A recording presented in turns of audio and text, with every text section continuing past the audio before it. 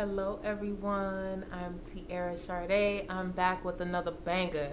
All right, y'all know I'm bringing that heat. I even got red on. You know I'm bringing the heat. Okay, so I'm in such a great mood right now, y'all. Like today has been so amazing. But anyway, this message is about um, picking up your Bible. It's right here. Maybe I'm not meant to show it. The message is to um, pick up your Bible. Yeah, I know.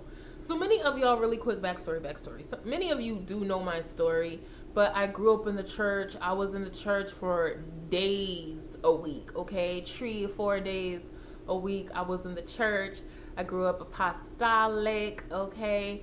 And um, as I got older, I couldn't deny the mystical, magical, and the supernatural things and downloads and information and things I was seeing and receiving. I couldn't deny it any longer. And I went um, on my own journey of discovery.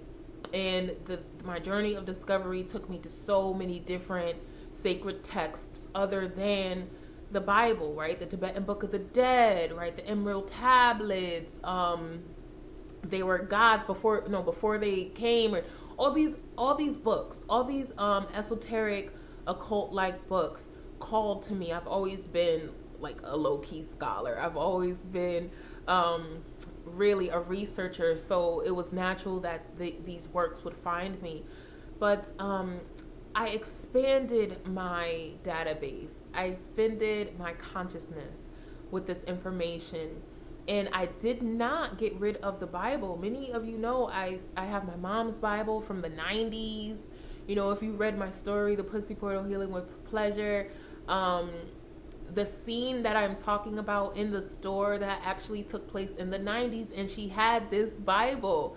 Y'all, that's the Bible that I mentioned in the chapter. So if you have not gotten the book Anthology, Ancient Future Unity, and my chapter is The Pussy Portal Healing with Pleasure, that is actually linked in the description box. You can get it from Amazon or you can hit me up if you would like a personalized autograph copy, okay?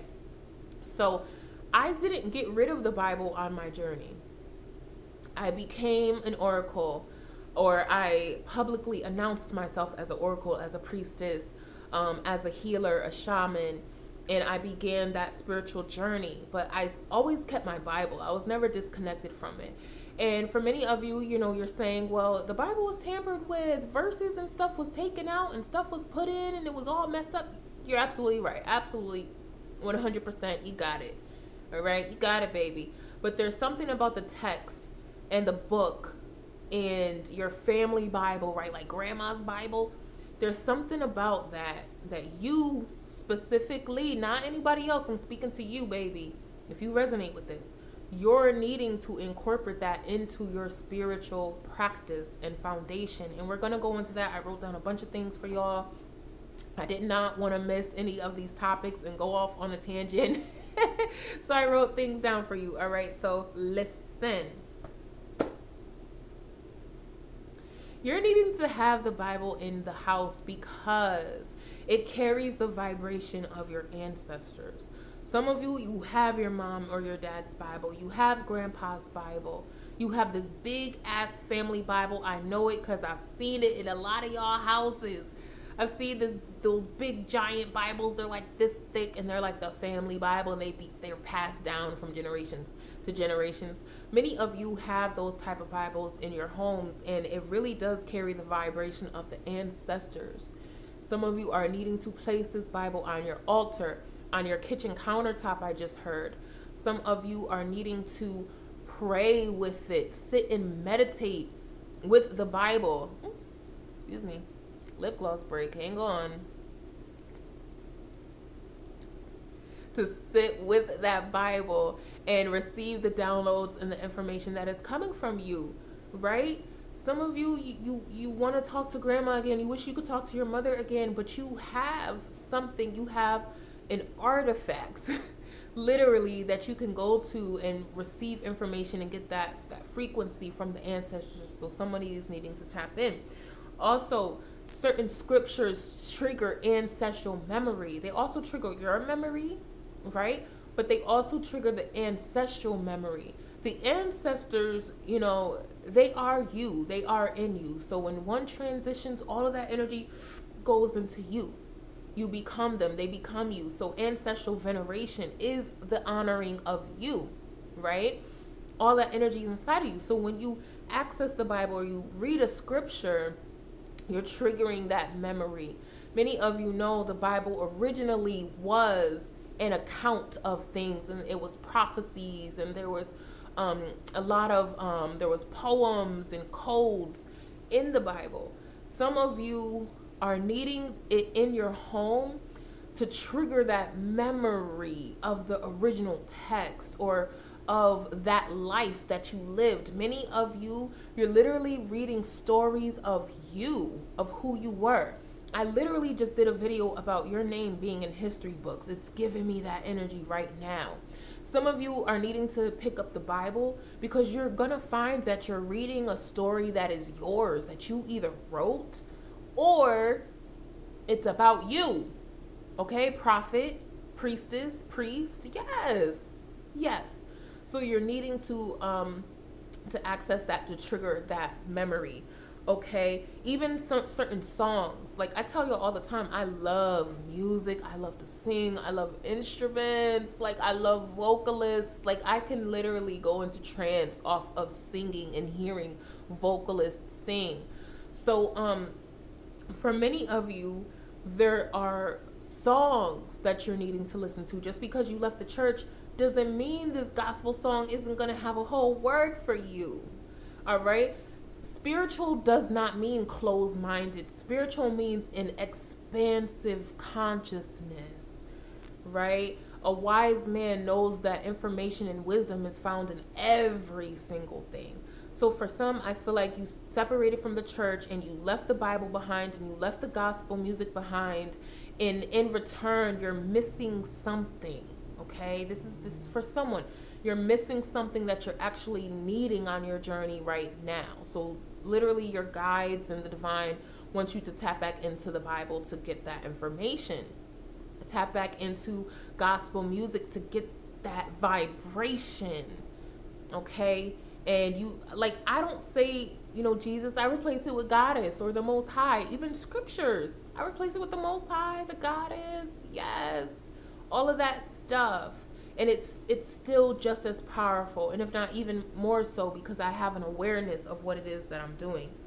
Many of you you're needing the Bible because it like I said it triggers your memory, it triggers your DNA and having it around you literally can open up the other texts, right? So like I was saying I love the Tibetan Book of the Dead and all those things. Having a text such as the Bible on me inspired me to study those other texts, inspired me to look up other prophets and humanitarians and um, poets as well, scribes, writers. Somebody is needing to have the Bible at their disposal because it's going to um, activate new spiritual gifts or it's going to give you more fortitude to um, operate in your spiritual gift. Okay, so take what resonates with that and um, yeah, it the Bible for many of us on this journey, it's literally the invitation to go deeper. Yes, it is. It's meant to be that in this time and space for you. You're meant to awaken to the knowledge of what it is, the truth of what it is and what happened, the tampering and all of that.